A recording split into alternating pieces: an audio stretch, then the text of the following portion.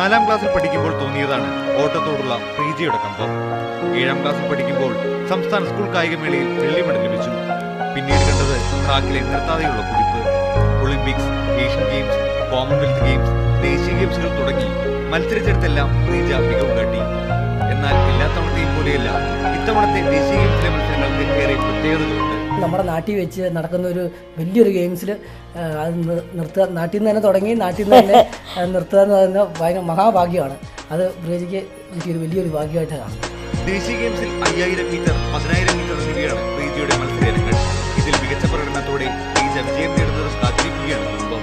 നന്നായിട്ടൊരു medal മേടിച്ച് സന്തോഷമായിട്ട് നിർത്താനുള്ള ഒരു അനുഗ്രഹം ദൈവം കൊടുക്കണമെന്നും പ്രാർത്ഥിക്കുന്നു. ദീർഘദൂര ഓട്ടത്തിൽ ഇന്ത്യയുടെ അഭിമാന താരം ട്രാക്കിൽ ഇനി ഉണ്ടാവില്ലെന്നതിൽ കുടുംബത്തിനും വേദനയുണ്ട്. റെയിൽവേയിലെ ജോലിക്കും കുടുംബജീവിതത്തിനുമൊപ്പം കായിക ലോകത്ത് തന്റെ സാന്നിധ്യം അറിയിച്ചു തന്നെയായിരിക്കും പ്രീജിയുടെ ഭാവി ജീവിതം ക്യാമറ പേഴ്സൺ ഷിജു ചിറ്റൂരിനൊപ്പം സാജിദ് അജ്മൽ മീഡിയ വൺ പാലക്കാട്.